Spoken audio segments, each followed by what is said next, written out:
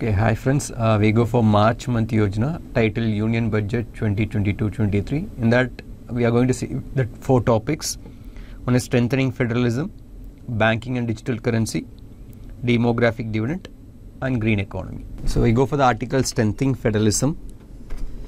So first, we need to understand what is federalism, so that will be easy to go through the article. So federalism is a concept in our Indian Constitution. So federalism is layman understanding is sharing of powers between governments. So India is a vast country, so we cannot run with one single government. So what the best idea is go for federal concept.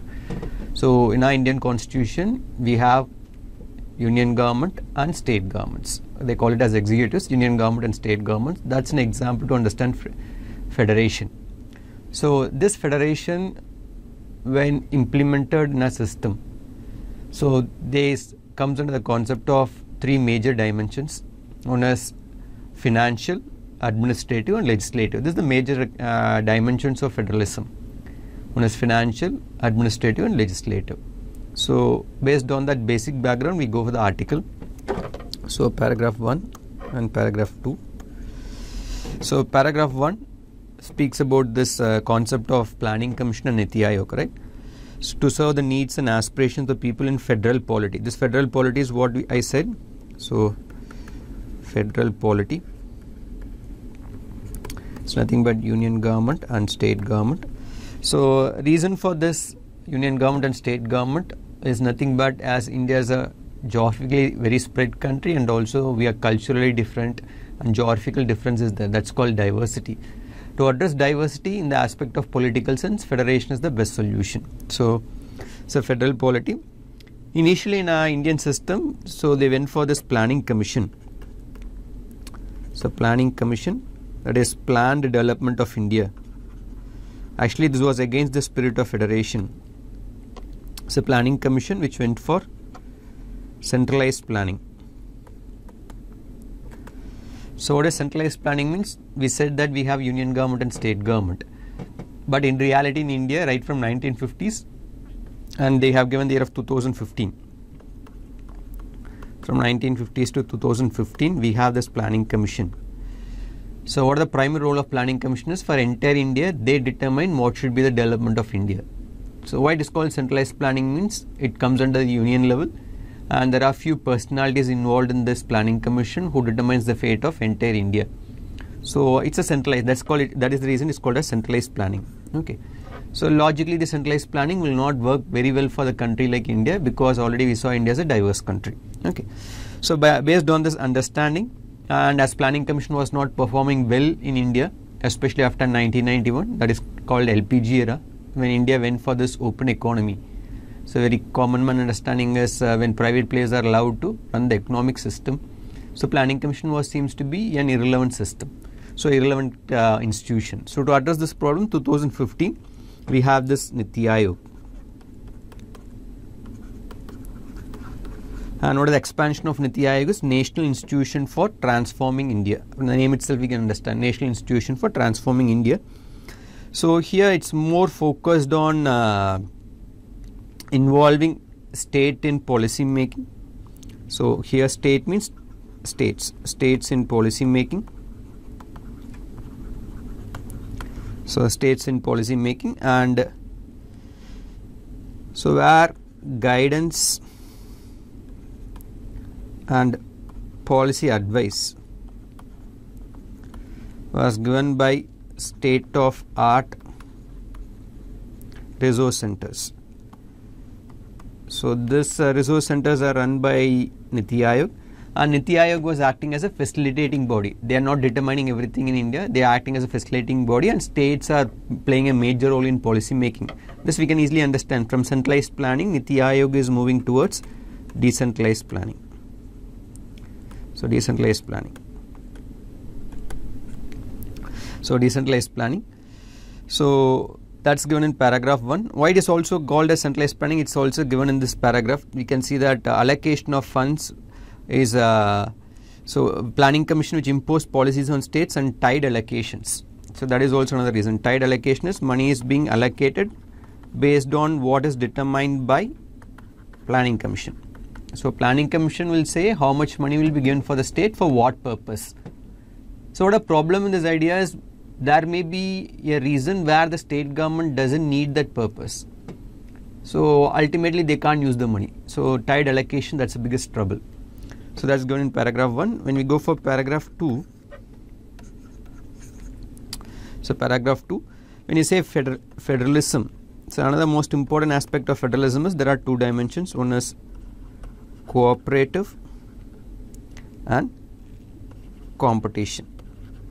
So there are two dimensions of federalism that is cooperative federalism and competition federalism.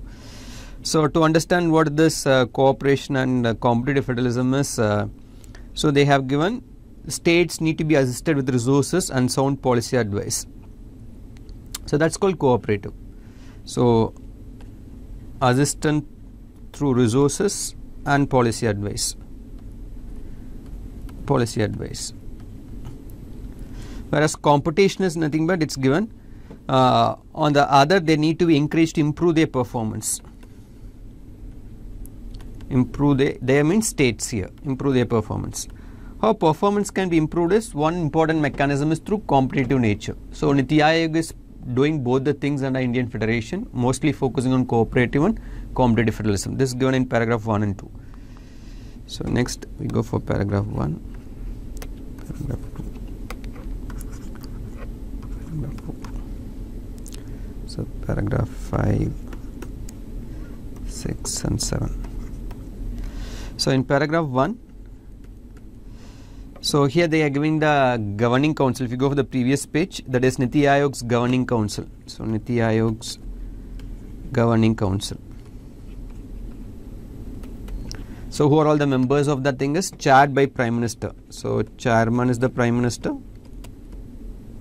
chairman Prime Minister and consisting all consisting of chief ministers, lieutenant governors of union territory as equal members. So we can see that uh, Chief Minister and Lieutenant Governors of Union Territories all as members. So what we need to understand here is as we say India is a federation, how this federation is established is by means of institutions. One important institution is the Niti Aayog Governing Council where we have a prime minister who is representing the union level and also we have state governments represented by the chief ministers and also union government uh, sorry union territories lieutenant governors so ultimately we can see there's an institution to represent the federal character. So that is paragraph 1 whereas paragraph 2 it's focused on uh, Niti Aayog's so when Niti Aayog came into picture so by 2017 so they have a document called strategy document. So strategy document India at 75 so this clearly knows the India 75 means we relate with our independence by 47, 75 years, what should be the position of India. So that documents, that strategy document, India at 75 was prepared by Niti Aayog. Okay. And this preparation itself clearly shows that how India, uh, how this Niti Aayog was more focused on cooperative character, how they want to interact with all the stakeholders. They have given in this, so in preparations. This all we need, we need to compare with the previous institution of, previous institution of planning commission which was not consultative in nature. So they'll decide what is good for the system which most of the time is not correct. Okay. So preparation where we can see 800 stakeholders. Who are stakeholders means the persons who is going to get the impact of the decision. Very layman understanding they are called as stakeholders. So this 800 stakeholders are from central level state level and district levels. So district levels and also apart from this it, it, also includes external experts that is 550 external experts.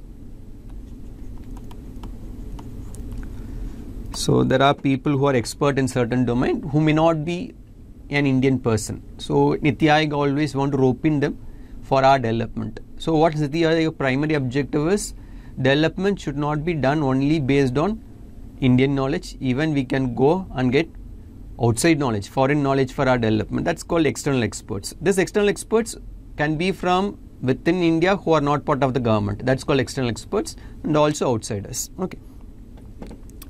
So here we can see that uh, the primary focus of all this thing is So they give they say new India. So the strategy document 75 want to establish a new India. That is, they want to make Indian economy five trillion dollars. So we are around two, two, uh, two trillion dollars, close to two trillion dollars, and we want to achieve five trillion dollars. We want to double the Indian economy.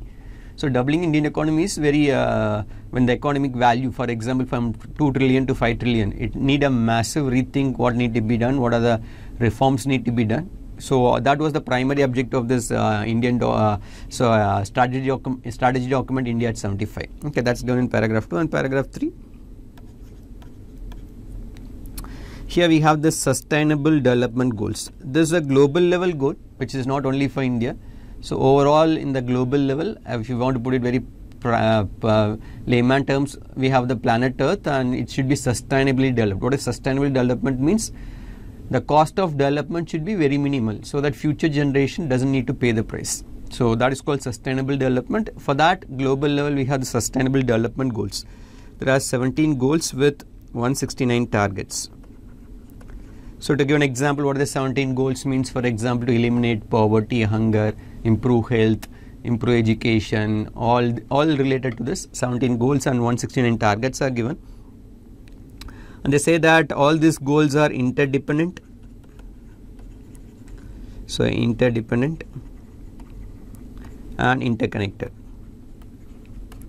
So interdependent and interconnected. So ultimately what happens is when we say sustainable development goal, though it's being created at the international level, it applies for every country. When it comes to India, though union government accept the goals, but implementation will take those subjects, which comes under state governments also. For example, if you take education, it's a concurrent list, both union government, state government into work. Agriculture is the major driver to eliminate poverty. Agriculture comes under state list. So ultimately, there should be a better interaction between union level and state level. So that is what the point says. So especially when sustainable development goal came into picture, especially the role of Niti Aayog in that thing is, so Niti Aayog want to dissolve silo based functioning in government institutions. What is silo based functioning means if you want to put in other terms what we call is watertight compartment. So there are various departments and ministries in India at union level and state level where their interactions are very minimal. But the point is these departments as said interconnected and interdependent as the sustainable development goals is interconnected interdependent. So there should be a proper interaction between all the departments. So to give a good example if you want to improve the health of a society where health is not improved only based on medicine for example, start with uh, public sanitation, start with drinking water. Uh, all these various departments, ministries are interconnected. But if they are not interacting with each other, that's called watertight compartment or silo based functioning. So uh, to attain sustainable development goals, Aayog's primary objective is to avoid this silo based functioning. They uh, make sure that interact with all the other various departments and ministries. Okay. So ultimately, what the primary uh, advantage of this thing is? So there there'll there'll be a better utilization of resources greater achievement of uh, goals and also we can also see that uh, overlapping can be eliminated. So all these are given as a points here. So uh, so we can see that what are the benefits of this. So benefits one is first we can say about uh, resource utilization. So effectively you can use the resource utilization here and also we can see that convergence of schemes so he doesn't want to create multiple schemes for the same beneficiaries. You can uh, try to uh, understand the needs and try to convert the scheme. So, so that will be benefit for the uh, people there. And also greater achievement, greater outcome achievement. So ultimately you are able to achieve the greater goods very effectively. So that is given in paragraph 4. So, so paragraph 3 and paragraph 4. So here they speak about competitive federalism. So what is competitive federalism is encouraging competition among the stakeholders especially at state level and district level. So you know the outcome of competition when the co uh, competition is very effective you can get the best of each uh, units here. So that is the primary aspect that is to facilitate competitive federalism is to facilitate improved performance. Facilitate improved performance. Improved performance. So uh, healthy competition so capacity building all is being done. And also we have this uh, ranking. For this uh, encouraging competitive federalism there is a ranking where social indicators with quantitative objective so this point is very important. We will say how it is. So especially for states. When we say social indicators to measure them is always uh, very troublesome. For example improvement of health or education we can't do within a short span of time. For example improvement of education within one year we can't understand the real impact. So that is always challengeable but government is coming out with a lot of innovative ideas. So that is that is called quantitative objective so measuring in quantitative terms of the social indicators. So right now coming, government is coming out a lot of indicators. We see that. So that is the uh, points given in paragraph uh, 4 whereas paragraph 5 so there is a concept called aspirational district this is also another good example of uh, competitive competitive character of uh, Niti Aayog. So aspirational districts. So what is aspirational district is right now in India there are few districts which are considered to be uh, uh, underdeveloped so considered to be underdeveloped so, but government never called them as underdeveloped. They are called as aspirational districts. And to improve the performance of aspirational districts, so they are encouraging the competition. So among these aspirational districts, that's also a good example of competitive federalism. So next thing is, uh, so the primary objective of this ranking is uh, to have a greater efficiency, convergence in governance, and uh, measuring the progress in rank at district level. So ultimately the aspirational districts what they want to do is similar to the previous benefits. They want to efficiently use the resources and to get a greater outcome. So that is the primary thing. Uh, next thing is when you go for this uh, paragraph 7. So paragraph 7. So they have said that uh, if these aspirational districts are performing well, so there are some incentives. So whenever there's a competition, there should be incentives to achieve certain objectives through competition. So government want to create some incentives. So in that incentives, if rank 1 in aspirational district, they'll get additional 10 crores, rank 2 5 crores and rank 3 3 crores. Okay. So ultimately we can see that uh, so ultimately we can see that this encourages the district level administration and authorities to compete better and to get the incentives from financial point of view also. So that is given there and also some of the indexes being created. We saw that competitive federalism is more about ranking and competing with each other. So Niti come out with a lot of indexes. For example, uh, composite composite water management index. These are the nation, national level. So management index. Similarly, we have this uh, school education index, India innovation index. So that's all given in the next pages. Quali uh, state health index, sustainable de uh, sustainable development goals index. So all this being created. So ultimately we can see that this encourages state to compete. So uh, next thing is paragraph one, two, three, and four. So in paragraph one, so so the latest version. So they're also updating this uh, indexes. So in that latest version of sustainable development goal india index. So india index. So they have 100 plus indicators. So this we can understand from this uh, message. What we can understand is Niti Aayog is constantly updating these uh, indexes to match with the ever changing environment of our development. So so uh, it's it's become an important. so this index, Sustainable Development India Index, becomes the most important policy tool. So what this policy tool is? Based on this index, government can learn where the state uh, states are standing, where the districts are standing. With that information, they can take some policy decisions. Okay. For example, there are certain states where based on the index, the government clearly understand that health is improved a lot so they can take some policy decisions based on it. So it becomes the most important policy tool. So that is uh, given there. And also right now we can see that uh, in paragraph uh, 1 also there is an index for northeastern states. So northeastern district sustainable development goal index. So this transformation of this index is not only with indicators level. So not go, Niti is trying to enhance the indicators to 1000 plus, but also they transforming it to the lowest level, subnational level. From state level, they're transforming it to district level, especially in northeastern states. We know that development in northeast is very slow.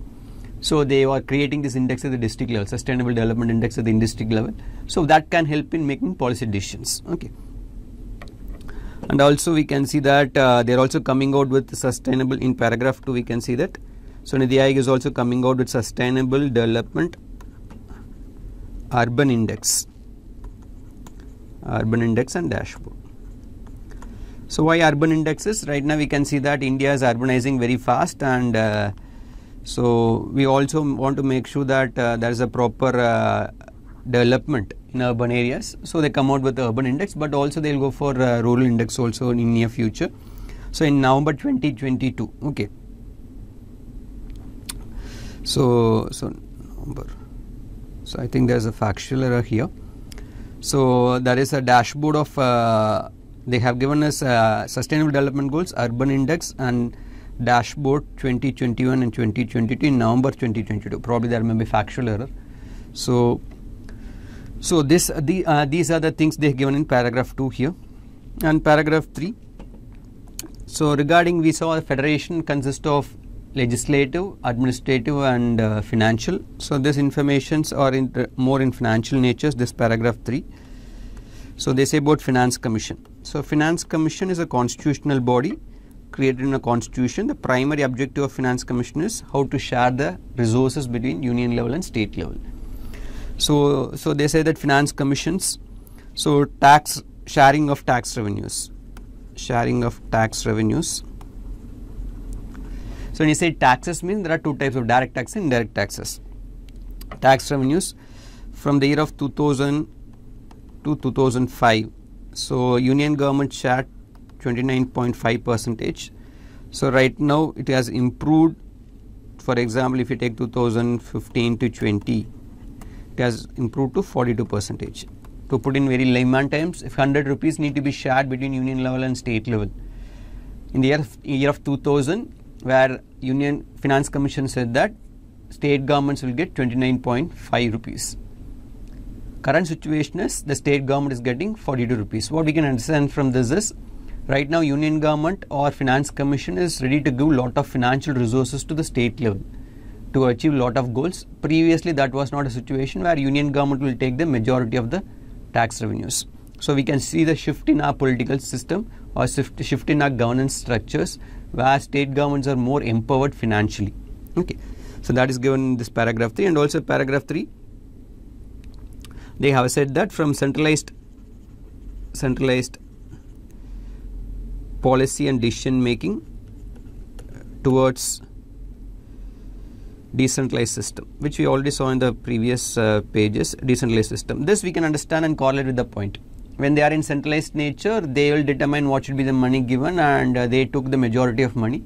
Right now it's decentralized and state governments are given greater autonomy. So that is the reason the um, uh, 42 percentage is increased to the level of 42 percentage. Okay this because of decentralized nature. That's given in paragraph 3 and paragraph 4 so in paragraph 4 uh, so we can see that uh, the general purpose transfers which is unconditional nature so this is again between uh, union and state level. So general purpose transfer. So again this unconditional. So what is unconditional is uh, so if, if you see that article they have said no strings attached.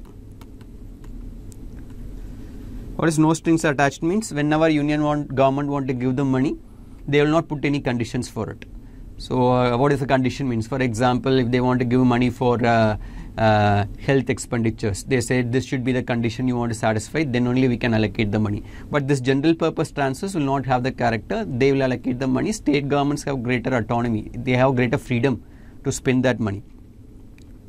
So we can see that uh, so from 2011 to 12, uh, how this has improved a lot. From where the financial year of 2011 and 12, that general purpose was 68 64.8 whereas if it is go for uh, 2019 20 19 20 that was around 74.2 percentage. Okay.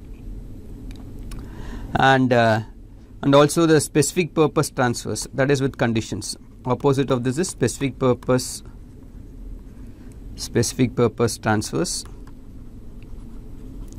that is with conditions where union government will give the money based on conditions. So based on conditions that all that has uh, reduced from the same time period. So for same time period so 2011-12 it's reduced from 35.2 percentage. These are some factual informations which you can use it for answer writing to substantiate. So now the questions being asked how our uh, federation is transformed in India all this you can relate this and say. So 25.7 percentage and also states borrowing. So states borrowing is also improved. Okay. States borrowing. So state governments are allowed to borrow from uh, outside markets. So state borrowings. So what that number is uh, so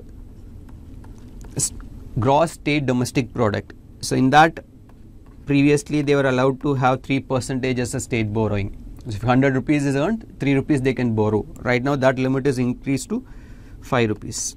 There's 5.5 percentage. So 5 percent they can borrow from the outside uh, market. And what a benefit of reaching to this uh, 5 percentages right now all the state governments combined will have an extra of 4 lakh 4.3 lakh crore. So think of this money 4.3 lakh crore creating infrastructures that will propel the development to the next level. So that's the point we need to understand from this and also in paragraph uh, 5 we can see that uh, GST GST is the most important uh, uh, mechanism right now especially for revenue sources. So that is also being mentioned here. That's given here. And also in this budget this year budgets that is 2000 uh, we have the financial year starting from 2022 to 23 in this budget there was a reference of scheme for financial assistance. That's the most important thing paragraph 5 S scheme for financial assistance to the states to the states for capital investment. This is the most important thing. So what union government says in the budget is in this current year budget there is a scheme for financial assistance for states for capital investment. Capital investment is creating physical or social infrastructures which will have a great benefit to the society. For example creating a road network rail network or creating a hospital all comes under capital in, capital investments so that's a scheme created in this budget. So so paragraph 1 so paragraph 2 paragraph 3 and so paragraph 4 and 5 so in this uh, paragraph 1 related to the previous scheme the scheme what is said for capital investment for states.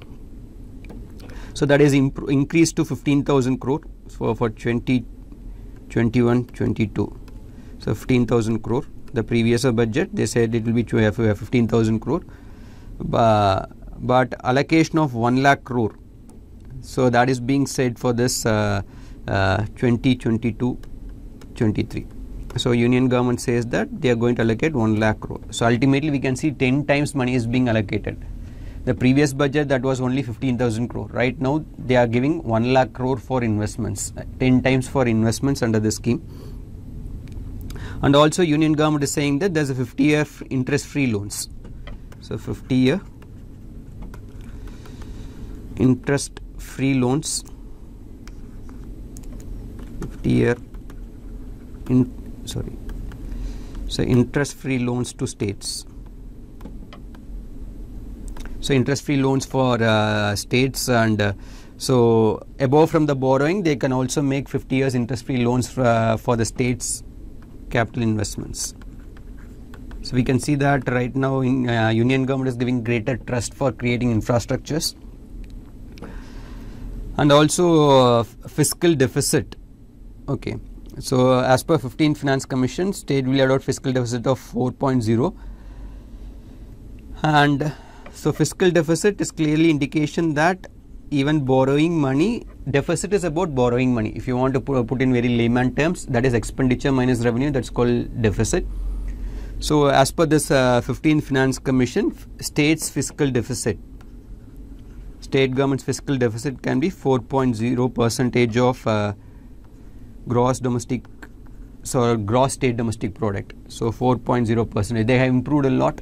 So uh, what it clearly indicates is what the finance commission indicates to the state government is if you even if you borrow the money, that's not a trouble. You go and invest for capital creations. So that is the point they are trying to say. In that uh, one condition attached, that is 0.5 percentage should be more focused on power sector reforms. Why this condition is attached is right now in India, power sector is considered to be the highly inefficient system where our resources are being wasted a lot. So government want to improve that. So they say, they say that whenever you want to get extra money, for example, for 100 rupees you are getting extra 4 rupees. In that 50 paisa need to be spent for power sector reforms. So that's a condition attached by the uh, finance commission saying that please do this because it clearly indicates that power sector is the most inefficient system in India. Okay. Uh, next thing is uh, paragraph 3. So right now for urban planning, so in this budget also there was a greater focus on urban planning. Why urban planning? We know that uh, in India urbanization is happening very fast, what we call it as rapid urbanization because of rural to urban migrations. Lot of people are coming to urban areas and migration is uh, happening, so that results in urbanization a lot. So government is focusing on this urban planning. So so right now uh, central uh, so union government want to support state governments, state governments in following areas. One is modernization, so modernization of buildings. And next thing is uh, building bylaws and town planning schemes. So town planning schemes. Next thing is uh, transit oriented development so right now union government is saying that we need to focus on urban planning a lot and uh, so in that modernization of building bylaws so, uh, so right now in most of the urban cities, we can see that whenever you want to construct a home, you need to get the approval of the corporations. And these corporations have laws which is created 30 years, 40 years before, where right now it cannot be relevant to modern day era. So they want to transform all these things and town planning scheme, how the uh, cities need to be planned, correct? So where we need to have the central business districts, all this need to be revamped and transit oriented development. So so all these are being focused by the union government. Union government says we are ready to help the state governments in all these things. So for in this budget there was reference of all these aspects and also they focused on this uh, uh, scheme of Amrut.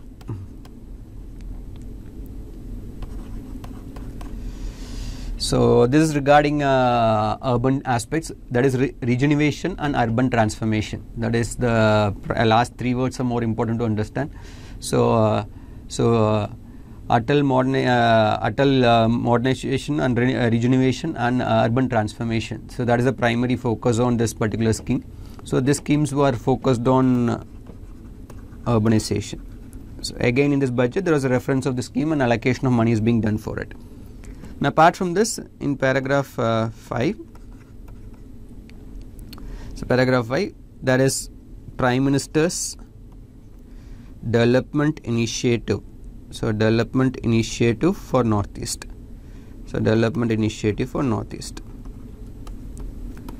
So so there was a, a specific on particular uh, aspect of a region where in this 1500 crores are being allocated by the union government and its budget and especially they are focusing on pm gati shakti so Gati Shakti is more focused on physical infrastructures. Government is very keen on creating road networks, rail networks, waterways. All these are being promoted under this particular uh, umbrella scheme, Gati Shakti.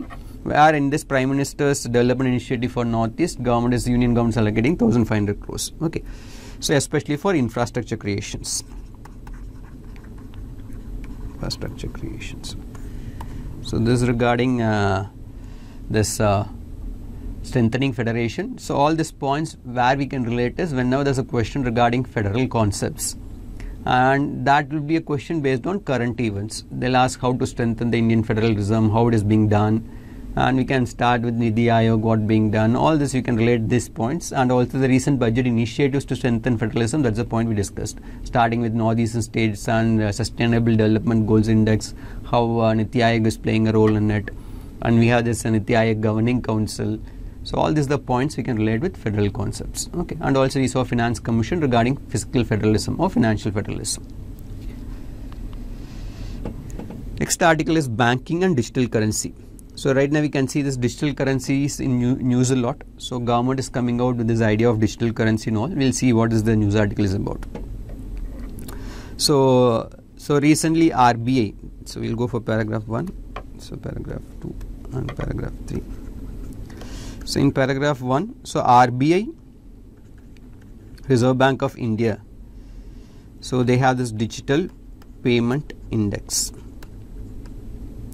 So, so RBI is measuring this digital payment, how money is being transformed digitally. There's an index for it, and they have given some numbers for that. So, what are the numbers? Uh, for example, if you take 2019, the index value is around 173, whereas in 2021, 2021 it's around 304. Literally, we can see it gets doubled. So, what you can understand from this uh, data is lot of people are focusing on this digital payment so that is happening. So that's the index given by RBI. And what are the important parameters? So just to know this index and parameters, this can also be a prelims question. So for that, first one is payment enablers. So payment enablers. Next thing is payment. So demand side factors. Demand side factors. Payment infrastructures.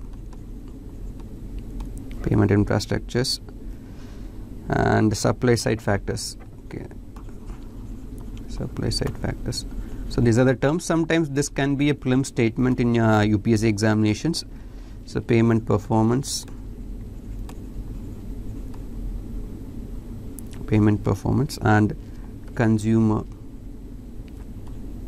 centricity so these are the five indicators based on which this digital payment index is being measured.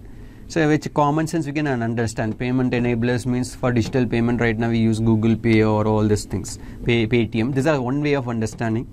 And payment demand side factors, how in uh, shops they are demanding, supply side factors, whether we have the infrastructures, all these things payment performance, how it is being, it's creating confidence. All these are the factors, just a common understanding. So based on this, paragraph what we can understand is in India digital payment is picking up. So these data are being given and how it is being measured is given. That's in paragraph 1. So whereas in paragraph uh, 2, so paragraph 2, so there's a special uh, incentive scheme in this budget focusing on digital transactions. Okay. So special scheme, they are not given the name of the scheme and all. So there's a special scheme to promote so so digital transactions. We'll see what are the reason for all these things. So that is being referred. So what we can understand from this paragraph is government is very keen to promote this uh, digital payments. Okay. So whereas paragraph 3 so this schemes focus on this especially the scheme what we saw in the previous paragraph focus on to build banks banks to strengthen. So digital payment so digital payment digital payment ecosystem and also promoting so RuPay debit card and BHIM UPI tra digital transactions. So these are the things what the scheme tried to do in India. Even that scheme was given in 2020 and 21 financial year budget. So they primarily focus on strengthening the bank's digital payment systems and also focusing on RuPay debit card. Right now when we take our ATM cards, we can see that there is a term called Visa, Master, uh, MasterCard. These are all foreign payment enablers. So where we need to pay the commissions. So the Indian government is promoting its own version called RuPay debit card and also BHIM UPI. So right now it's more about uh, mobile application based payment systems. So that's the primary focus of the scheme. So that is given in this paragraph 3. So next thing is paragraph 4 5 and 6 so in paragraph 4 so right now digital banking unit. So there are different ways of digital transaction. One is digital banking unit. So digital banking unit. So where it has increased a lot that's the thing what they say in this paragraph. And also still we can see that people visiting people visiting branches that is bank branches. So what we can understand from this uh, paragraph is though digital payments are picking up still people are going to bank physically. So this clearly shows that in indian system there are two extremes. There are people using mobile phones to transact financial uh, uh, aspects. There are there are people on the other extreme going to branches physically and doing financial transactions. So that is given there. So to avoid all these things right now government strengthening this uh, digital banking units so in this digital banking units next paragraph you can understand this so the primary objective of digital banking units is to focus on financial inclusion so we can financially include everyone based on digital banking uh, unit if it's being properly created and recent example for this thing is Pradhan Mantri Jan Dhan Yojana. So these are some financial terms which you can use it for your answer writing. That is, so 48, 44.58 crore bank accounts, and you just relate with uh, population in India. So we have 100 crore plus populations, and based on this one yojana, we have created 44 crore bank accounts. So literally we can see that uh, approximately around 50 percentage of population we are able to reach with the banking system by this scheme, one scheme. And also it is also said that uh, around 1.57 lakh crore is being deposited in these accounts. This this is based on government subsidies and MGNREGA money. All this is a part of it. So 1.57 lakh crore is submitted through this particular uh, Yojana who created a bank account. This clearly shows the importance of this particular uh, uh, Yojana, how it created this uh, financial inclusion. This also includes insurance, insurance cover for this particular scheme, and so insurance cover which uh, provides the security for people. So this given in paragraph 5. All is possible because of this digital banking unit being promoted by the government.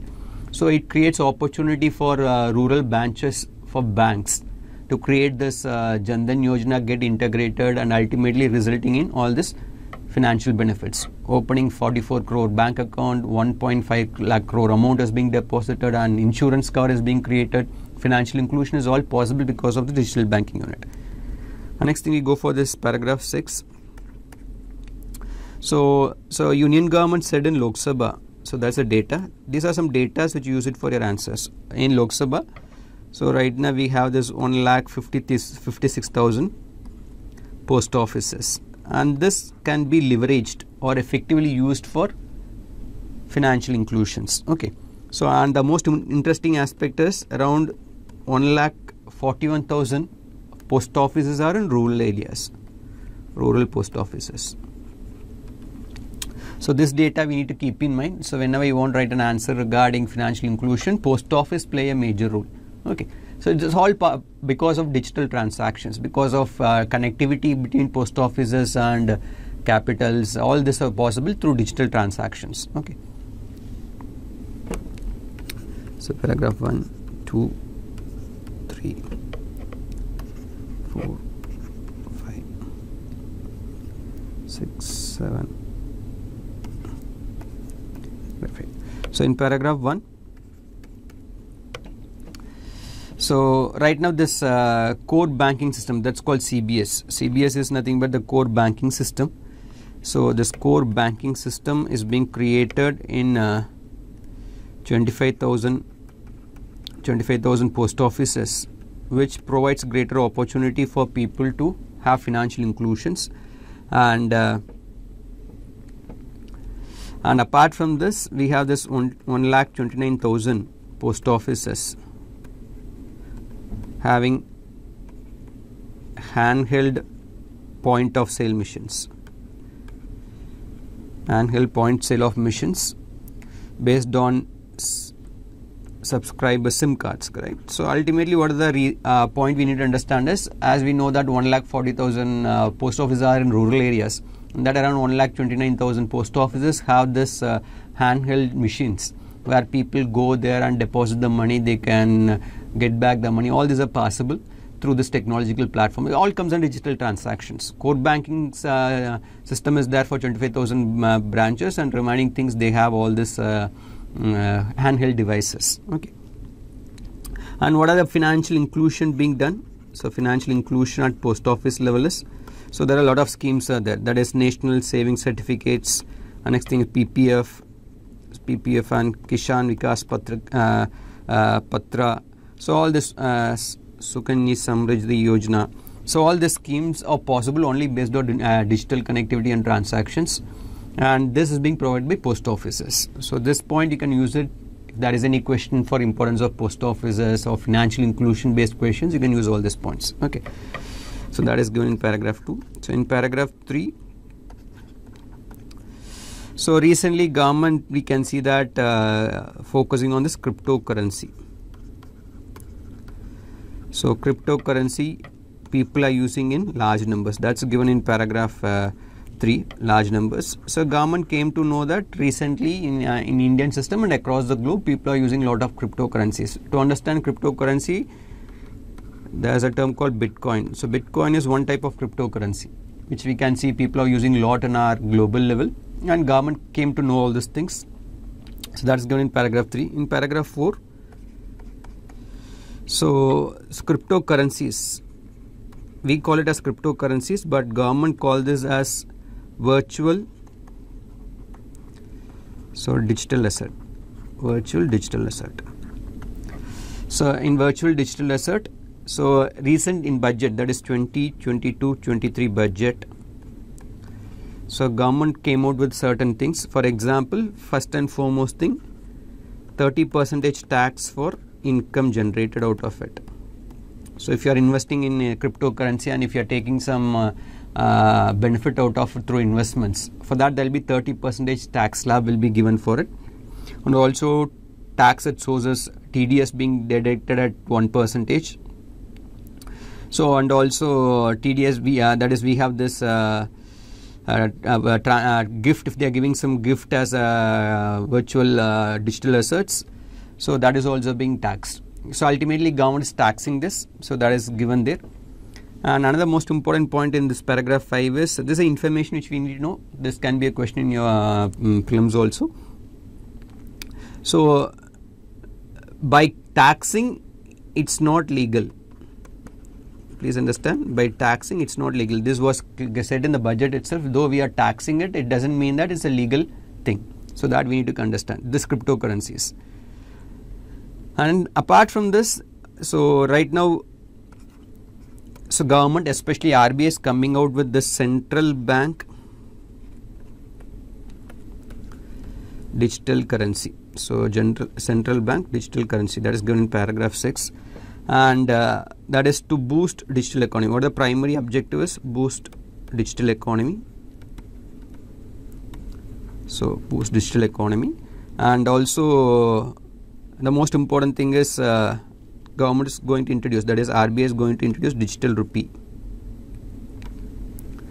So this is based on blockchain using technologies. So blockchain technology you need to know for prelims aspect from science and technology perspective what is blockchain called technology what are the key terms in it that you want to know which in prelims they can ask you the questions. So digital rupees right now government is promoting it so that comes under central bank digital currency. So that is being done by the government, and uh, so so digital notes, this digital currency, and uh, the most important thing is it's also acting as a fiat currency. So fiat currency is you can also transact and do transaction with uh, uh, companies or markets. You can do the transaction because government is recognizing as a fiat currency. Okay, which is recognized by the government. You can use it as a legal tender, and uh,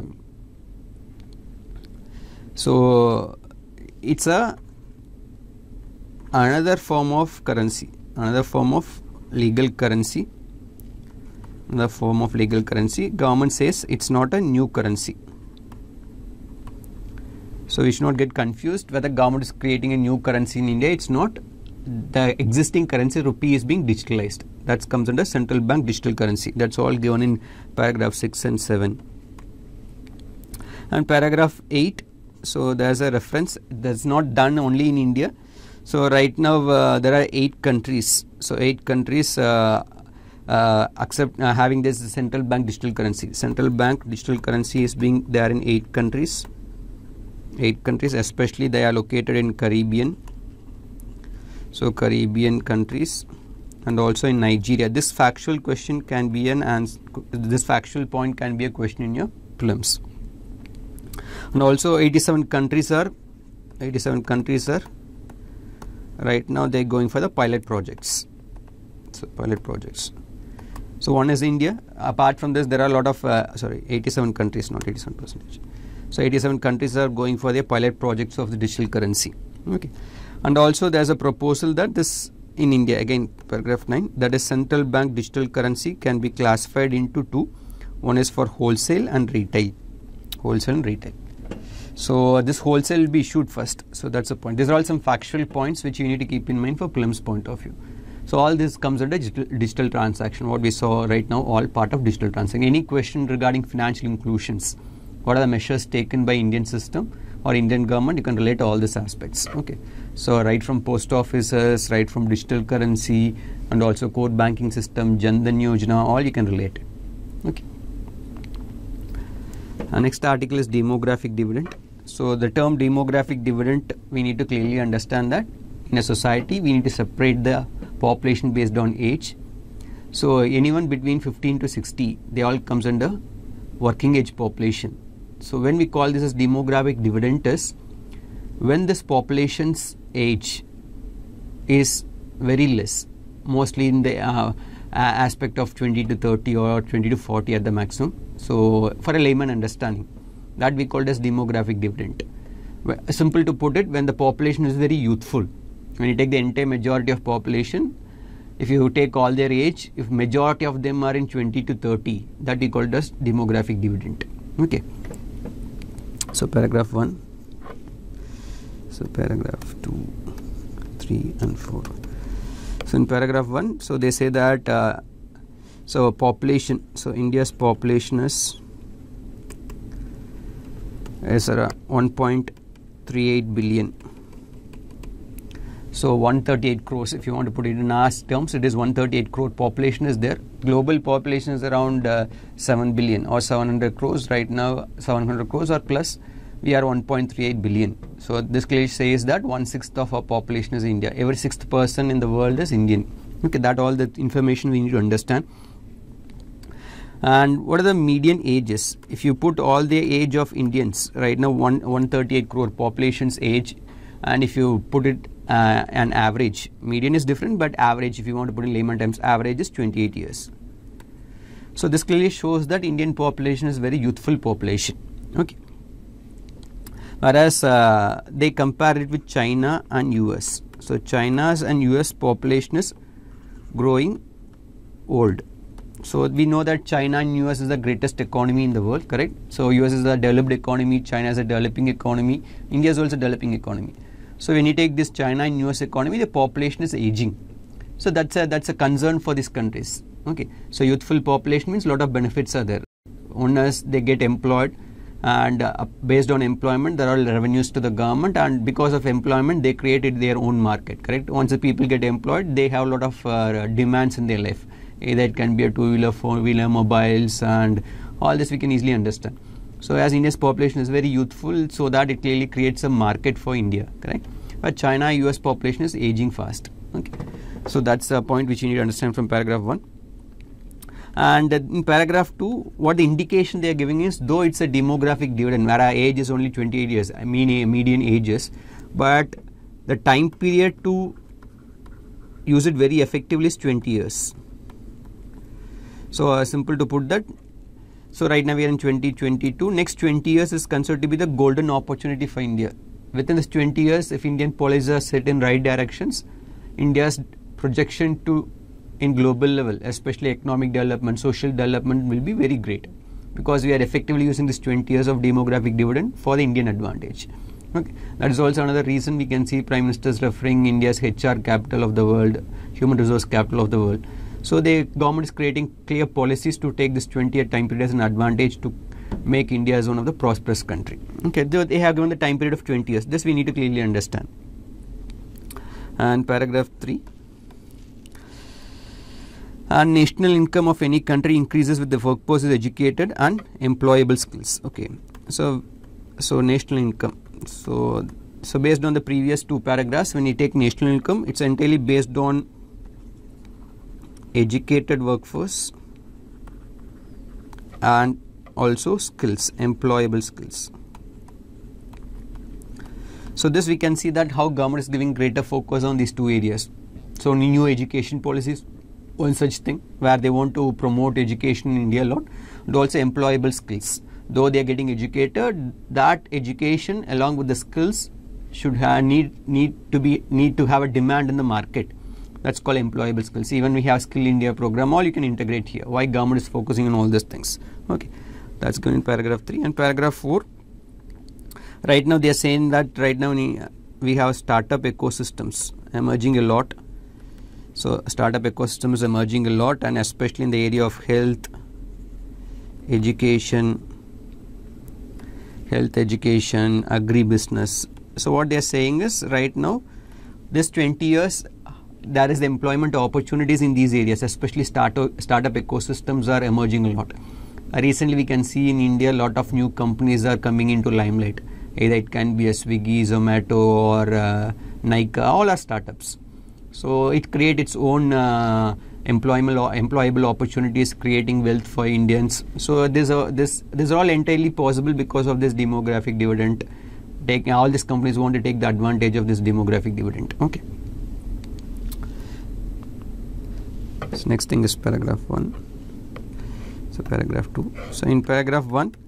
So right now we can see that uh, based on the points we understand from the previous paragraphs, so government is focusing on national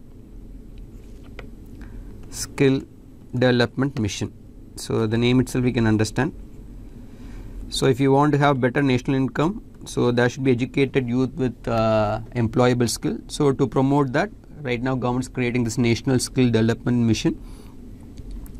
And also government has created uh, initiatives like startup india. St startup india. Skill india or digital india. So digital india. And we have this mudra scheme. So mudra for small industries correct? So what we called as msme so all these are being promoted ultimately creating employment opportunities. For creating employment opportunities. And next thing is uh, paragraph 2 so they also referring about the scheme of uh, Shakti which we referred in the previous article. So this entirely focused on creating infrastructures. Creating infrastructures like road railways railways correct airports ports logistics so under Gati Shakti, government is also propelling on their side to create this physical infrastructure. We, though it seems to be a standalone point, but we need to integrate here in the article so we can easily understand. As India is in demographic dividend, age group is around 28 is a median age and uh, next 20 years a prime time for India development. So government on its side creating all these infrastructures. So ultimately society can effectively use this infrastructure resulting in greater productivity. So uh, that results in socio-economic development. That's given in paragraph 2 and paragraph 3 so so government also has uh, created this uh, digital ecosystem for skilling and livelihood. This is another point. So digital ecosystem for skilling and livelihood. So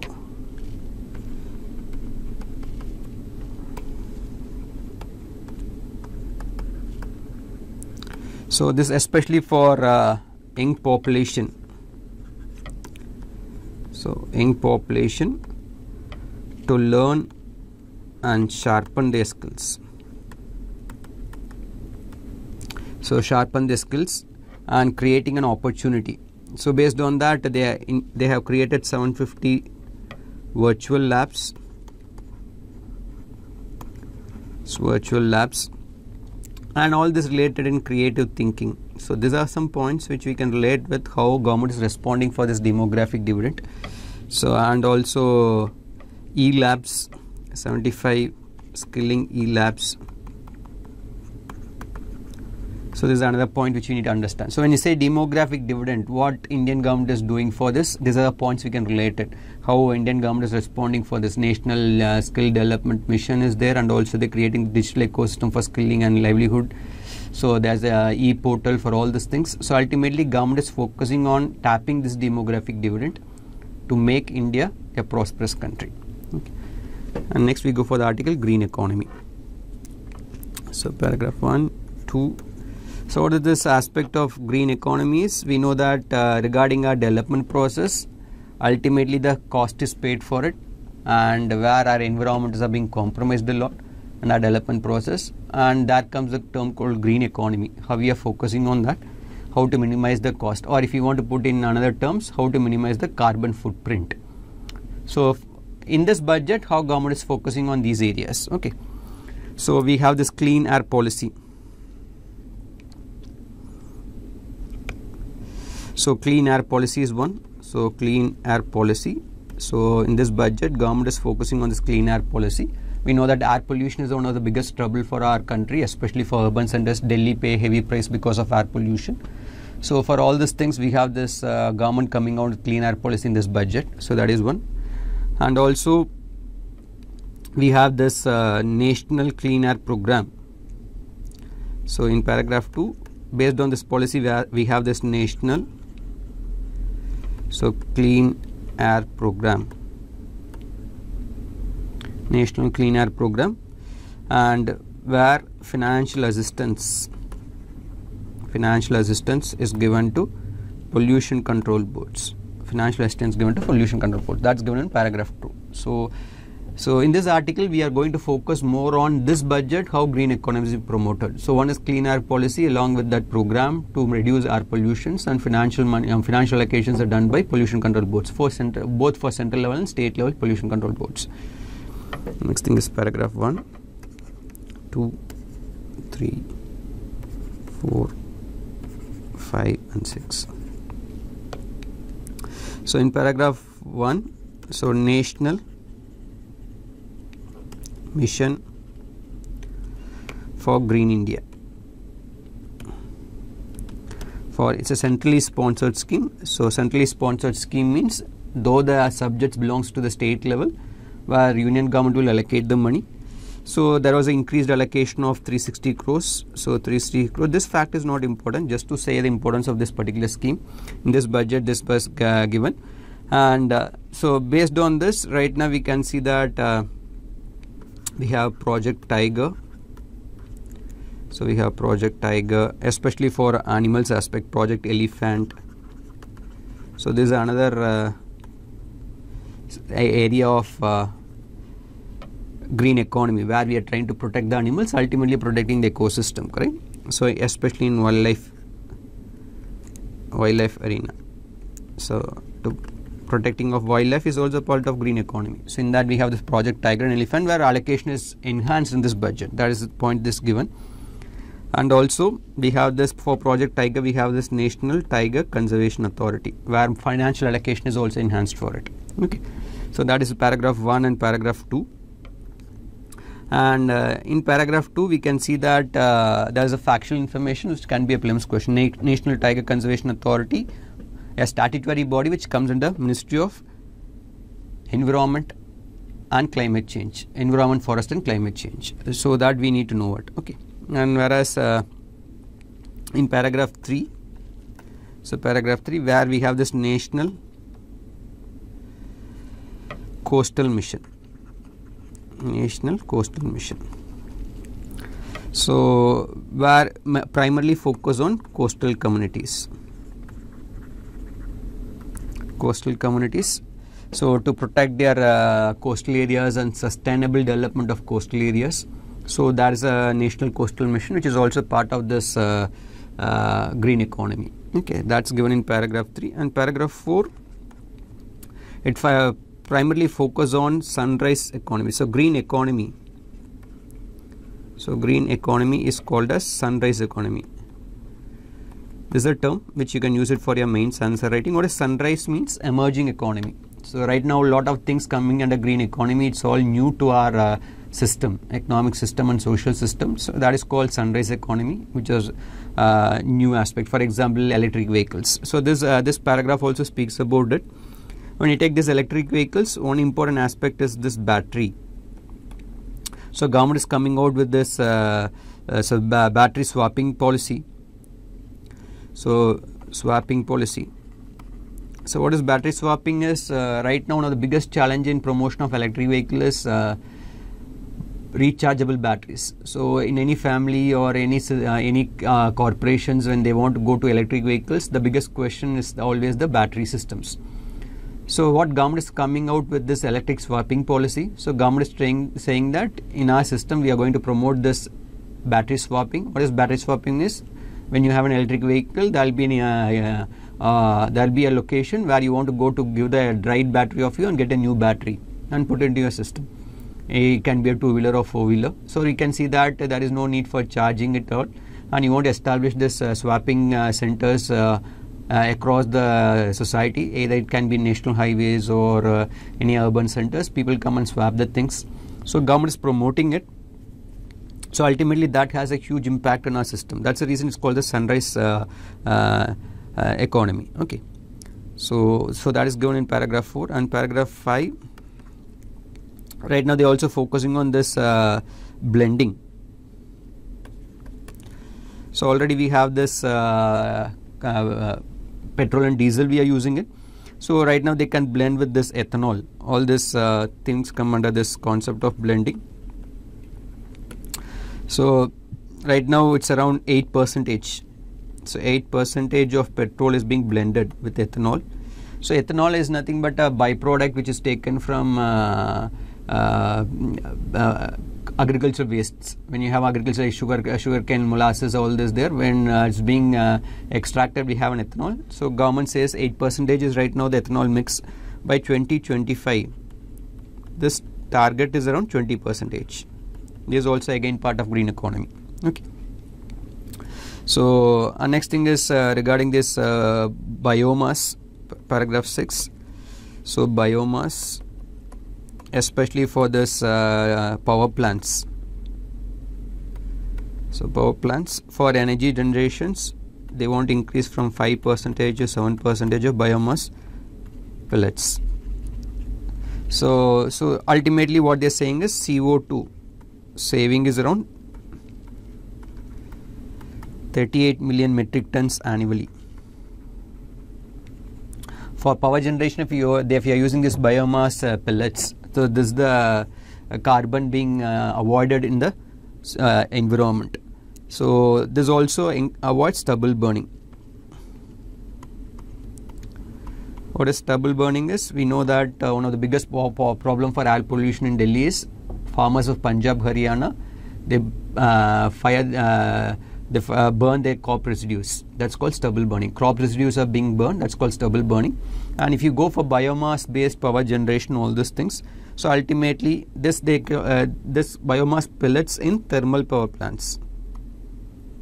So if seven percentage of biomass pellets is used in thermal power plants, and uh, this biomass can be created through crop residues of Punjab Haryana. So this is the point they try to uh, highlight here. And next thing is paragraph 1 and paragraph 2. And also right now we have this uh, central pollution control board. So in central pollution control board to monitor air and water quality. So air and water quality is being monitored by this uh, uh, central pollution control board again related to this green economy concept okay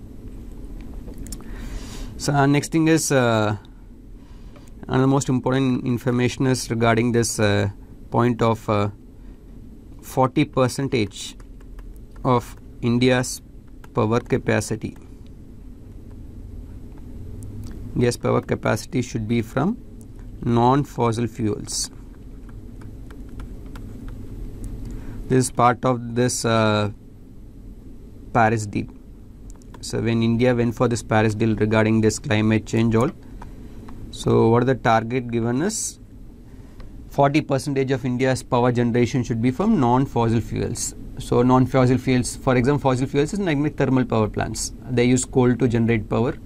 So what the target they say is if 100 units are being generated in India, 40 units comes, need to come from non-fossil fuels. So that's a target and this is a promise made by India in Paris deal. So, so as per 2021 Central Electricity Authority so, Central Electricity Authority power generation from non-fossil fuels has reached to the level of 40.20 percentage. We have a target of 40 percentage, but as per 2021, we have 40.20 percentage coming from non-fossil fuels.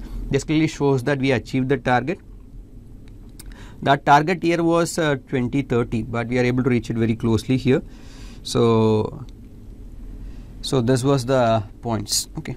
So where we can use this uh, uh, green economy and all uh, uh, points is when there is a question regarding sustainable development what need to be done. So we can relate all these points here and how India is responding for climate change. You can use all these points how Indian government is responding for climate change. So all these are the points. Okay. Thank you